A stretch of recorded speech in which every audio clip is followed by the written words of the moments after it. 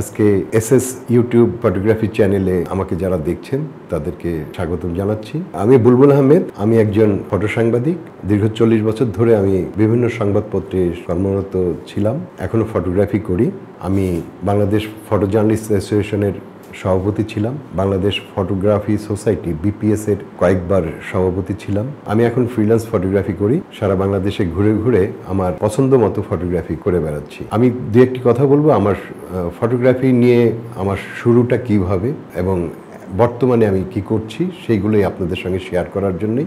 আজকে এখানে আসা। স্পোর্টস ফটোগ্রাফি এটা অনেক বড় একটা ক্যানভাস। স্পোর্টসের মধ্যে অনেকগুলো ভাগ আছে। যেমন ক্রিকেট, ফুটবল, ভলিবল, বাস্কেটবল, দাবা, অ্যাথলেটিক, অনেক ধরনের ভাগ আছে। তো আমি যদি ক্রিকেটের কথা বলি, আমাকে ফটোগ্রাফি নিয়ে কাজ করতে হলো পরে শুরুতেই জানতে হবে যে এই স্পোর্টসটা কি? এই খেলাটা কীভাবে এই খেলাটা হয়? খেলার আইন কানুনগুলো কি নিয়ম কানুনগুলো আমাকে জানতে হবে একজন ফটোগ্রাফার হিসাবে বা ফটো সাংবাদিক হিসাবে। তাহলে আমি একজন ভালো মুভমেন্টগুলো ধরতে পারব। আমি যদি ক্রিকেটের যদি আইন কানুনগুলো না জানি বা খেলার কলা কৌশলগুলো সম্পর্কে যদি আমার কোনো ধারণা না থাকে, তাহলে পরে আমি ভালো ছবি ক্লিক করতে পারব না। ক্যামেরার ধর্ম, টিপ দিলেই ছবি হবে, কিন্তু সব ছবি যে ছবি না, সেটা বিচার করব ওই সেক্টরে যারা পারদর্শী। সব ছবি সুন্দর হচ্ছে, কিন্তু তার মধ্যে শত শত সাংবাদিকের মধ্যে বা ফটোগ্রাফারের মধ্যে দুই চারজনের ছবি খুব আলোচিত হয়। কারণ তারা এই কলা কৌশল বা খেলার আইন কানুনগুলো সম্পর্কে তাদের জ্ঞান আছে। সেই কারণে সেই সব ফটোগ্রাফারের ছবিগুলো খুবই ভালো হয়। ফুটবলের ক্ষেত্রেও তাই। তারপরে বাস্কেটবল আছে। প্রত্যেকটা খেলারই নিয়ম আছে, আইন আছে। সেই জিনিসগুলো আমাদের জানা থাকলে পরে ভালো ছবি তুলতে পারব। স্পোর্টসের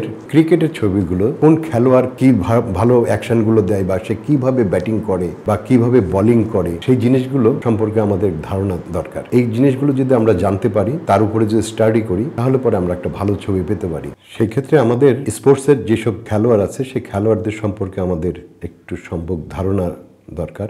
আর লেন্সগুলো যে আমরা ব্যবহার করব, কি কি লেন্স ওখানে প্রয়োজন হতে পারে? আমি যদি যে বলার, তার শট নিতে চাই বা যে ব্যাটসম্যান তার এটা করব, ঠিক এই ধরনের আমার কিছু টেলি লেন্সের দরকার। সেটা ফোর হান্ড্রেড, থ্রি হান্ড্রেড বা ফাইভ হান্ড্রেড, এই ধরনের লেন্স দিয়ে আমি টেলি দিয়ে ছবিগুলো তুলছি। আর আমার কোন অ্যাঙ্গেল থেকে আমি বসবো, সেইটাও কিন্তু একটা অনেক বড় একটা কাজ যে আমি একদম ব্যাটসম্যানের পিছনে বসবো, সোজাসুজি বসবো, না মানে সামনাসামনি বসবো, না একটু সাইড নিয়ে বসবো। যে বসার অ্যাঙ্গেলটাও কিন্তু একটা ফ্যাক্টর দ্বিতীয়, আমি শুধু তো আর বলার্স বা ব্যাটসম্যানের উপরে ছবি তুলবো না, আমাকে উইকেট কিপারের ছবি তুলতে হতে পারে ক্যাচ হচ্ছে সেই ছবি তুলতে হতে পারে সেই সব জিনিসগুলো আমাকে তাৎক্ষণিক মাঠে বসেই আমাকে কিছু ডিসিশন নিয়ে সেই ছবিগুলো তুলতে হবে, তাহলেই আমি একজন ভালো একটা ফটো পাবো। আর ফুটবলের ব্যাপারেও একই জিনিস, ফুটবলটা তো একসঙ্গে একটা বল নিয়ে অনেকেই চেস করে। সেই ক্ষেত্রেও আমাকে কোন অ্যাঙ্গেল থেকে দাঁড়ালে পরে কি রকম ছবি পাবো, সেটাও একটা বিষয়। লেন্স তো একটা ফ্যাক্টর আছেই যে আমি মাঠ এত বড়, সেই বড় মাঠের মধ্যে আমি কোথায় দাঁড়িয়ে ছবিটা তুলবো বা বসে ছবিটা তুলবো, কি ধরনের লেন্স লাগতে পারে, সেটা থ্রি হান্ড্রেড না ফোর হান্ড্রেড না টু হান্ড্রেডে কাজ করব, নাকি আমি নর্মাল লেন্সে কাজ করব? এটা ডিপেন্ড করে তার এক একজন ফটোগ্রাফারের নিজস্ব ইসের উপরে, যে সে কি ধরনের ছবিটা তুলবে? সে যদি গোলকিপারের পিছনে গোলকিপারের অ্যাকশন ছবিগুলো তুলতে চায়, তাহলে তাকে এক ধরনের লেন্স নিয়ে কাজ করতে হবে। মিডফিল্ডে কাজ করছে এটার জন্য এক ধরনের লেন্স নিয়ে কাজ করতে হবে। তো আমাকে, আমি কি ধরনের কাজ করব?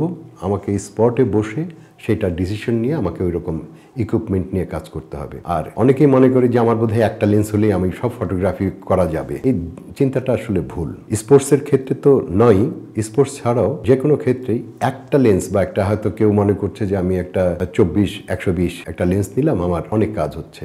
প্রাইম লেন্স আর জুম লেন্সের যে পার্থক্য কি এই জিনিসগুলি আসলে আমরা অনেক ফটোগ্রাফার বুঝি না। প্রাইম লেন্সের একরকম এফেক্ট জুম লেন্সের আরেক রকম এফেক্ট মাইক্রো লেন্সের আরেক রকম এফেক্ট তো এই জিনিসগুলো আমাদের জানা দরকার। মোট কথা ফটোগ্রাফি করতে হলে পরে ফটোগ্রাফি নিয়ে আমাকে একটু পড়াশোনা করা দরকার। এখন বাংলাদেশে ফটোগ্রাফির উপরে অনেক বই পাওয়া যায়। ইন্টারনেটের মাধ্যমে অনেক আধুনিক ইকুইপমেন্ট নিয়ে জানা যায়, পড়া যায়।